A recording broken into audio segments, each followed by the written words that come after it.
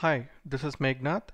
In this video, we're going to learn about factorial of a given number. So we will write C program to read a number and print factorial of it. Now factorial is the product of number from 1 to n. So if you're entering a number 5, factorial of 5 is 5 into 4 which is 20, 20 into 3 is 60, 62 is 120, and 120 into 1 is 120. So factorial of a given number is a product of 1 to itself. Let's take, you are giving an input number 4. So factorial of 4 is 4 into 3 into 2 into 1. So factorial of 4, the answer will be 4 3 is 12, 12 2 is 24, 24 1 is 24, so factorial 4 is 24.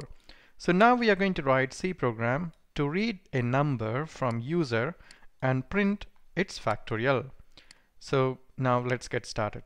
And remember, the editor or software that you can use can be any editor which supports C language. Either it can be Turbo C editor, Dev C++ editor, or Visual Studio Community Edition, or any other of your choice, right? So let's get started. I'm going to use Visual Studio Community Edition, which is free from Microsoft. Let's get started. Now File, New, project and I'm going to select Win32 console application and I'm going to give the name of the project as factorial number. So I can give any name. So I'm giving factorial number and click OK and click next and I just want to remove this. Click on finish. Now I will be writing the program which you can write in your own editor. So let me delete this.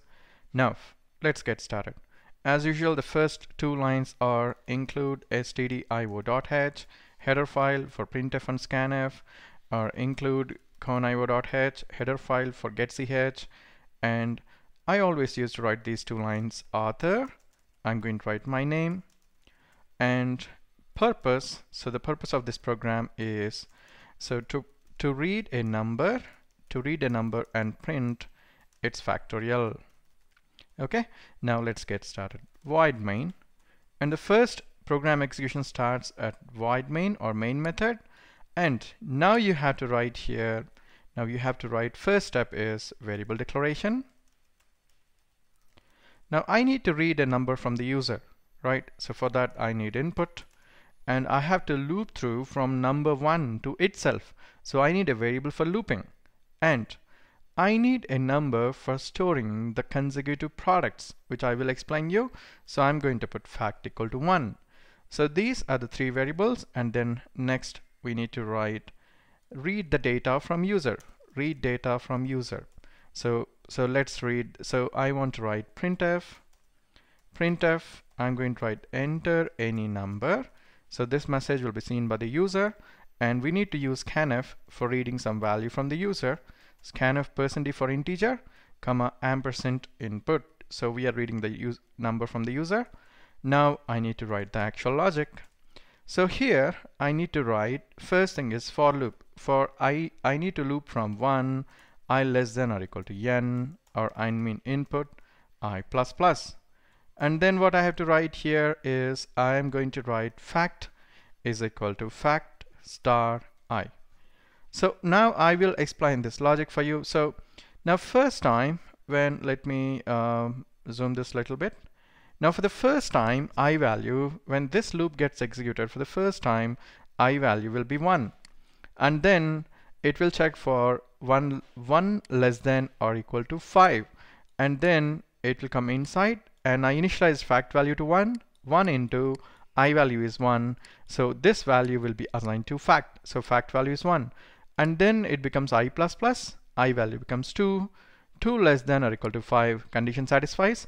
And now already fact value is 1 so this will multiply again with i so that is 2 now fact value becomes 2 and now i value becomes 3 3 less than or equal to 5 condition satisfied. So already fact value is 2 2 into now current i value is 3 now this will be assigned to fact that is 6 now i value becomes 4 and 6 into 4 fact value becomes 24 i value becomes 5 already fact value is 24 24 into 5 which is 120 and then i value becomes 6 6 less than or equal to 5 condition fails and that's it. So fact value will become 120 right?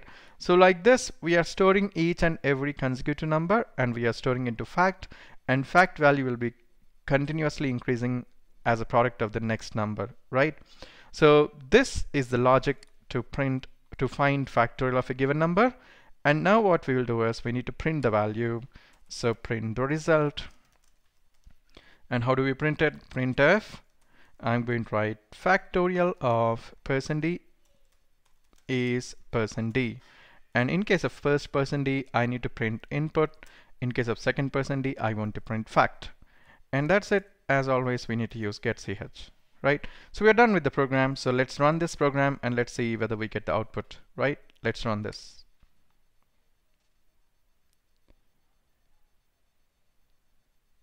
Now you can see here enter any number. I'm going to enter 5 you can see factorial of 5 is 120 and you can run this once again. And you can see here I'm going to put enter in number 4 you will see the output as 24 right?